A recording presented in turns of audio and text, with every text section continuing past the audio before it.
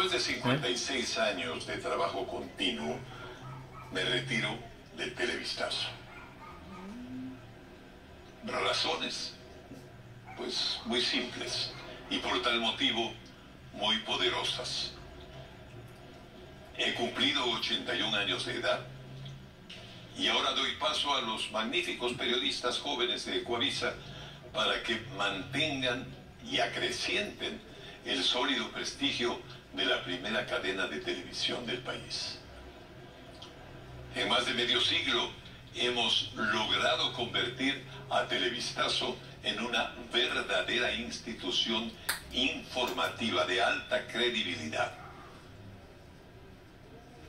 Hay mucha nostalgia, por supuesto, en este momento, porque a uno se le vienen a la mente todos los recuerdos de más de medio siglo.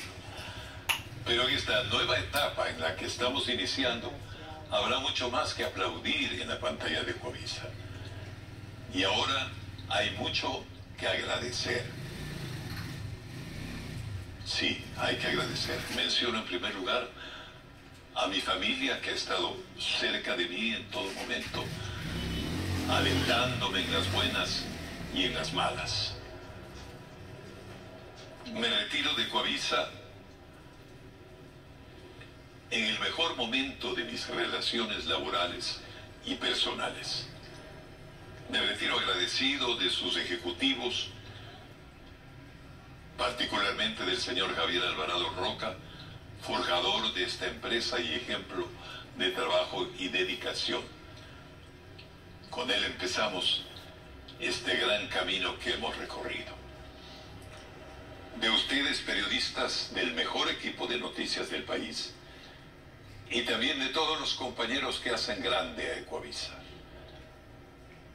Y un inmenso gracias de todo corazón para este público tan leal que me ha acompañado por generaciones, que me ha apoyado en todo momento y que me ha manifestado su cariño siempre.